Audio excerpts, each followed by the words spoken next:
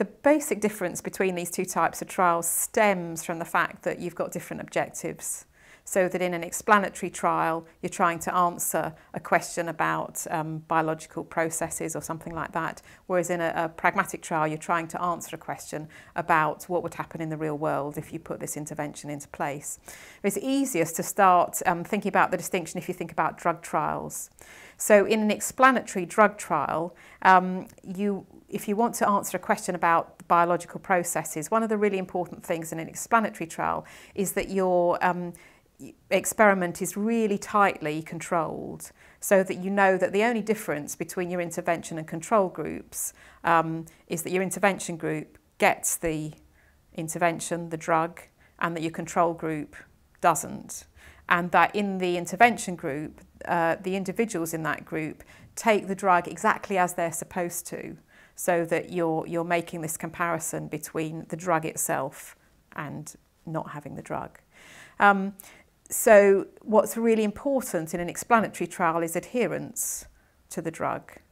Um, but that's not so important in a pragmatic trial. So for example, in a pragmatic trial, if we want to find out how, um, uh, say, say a drug is developed in, in explanatory trials and then in a pragmatic trial we want to find out how that drug will work in real life, then we will want to trial that drug in the setting in which it will be used in real life. And if in that setting what happens is that participants are given the drug to take away, say, and um, have at home, and they might be asked to take the drug five times a day, and they decide they don't want to take it five times a day, they only want to take it three times a day or two times a day or not at all, then in a pragmatic trial we allow that kind of um, difference to go on. We allowed different participants to take the drug in the way that they um, want to, so that adhering to the drug um, is not as important as it is in an explanatory trial. That's not to say that we wouldn't want to look at adherence and find out how people were adhering,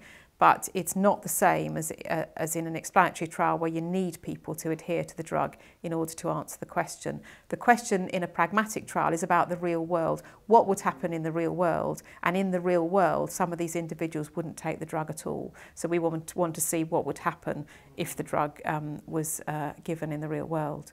So um, moving on from drug trials, a lot of uh, pragmatic trials aren't drug trials at all one of the implications of the definition of a pragmatic trial, um, that it's to help people to decide on um, clinical decisions, make clinical decisions about care that they're providing patients, is that the intervention might be anything at all. It might be reorganisation of health service, for example, it might be education to patients, all sorts of things. So in the case when it's not a drug trial, um, one of the big differences between that and explanatory trials is that um, you can't use placebos. In an explanatory trial, you will often use placebos in order to ensure that you haven't got bias. So a placebo, um, something which looks like the drug but isn't in fact the drug, um, will be given to the control group and the intervention group will get the real drug. Nobody knows which individuals have got the real drug and which individuals have got the placebo. And in that way, there's a lot of bias which is taken out of the trial.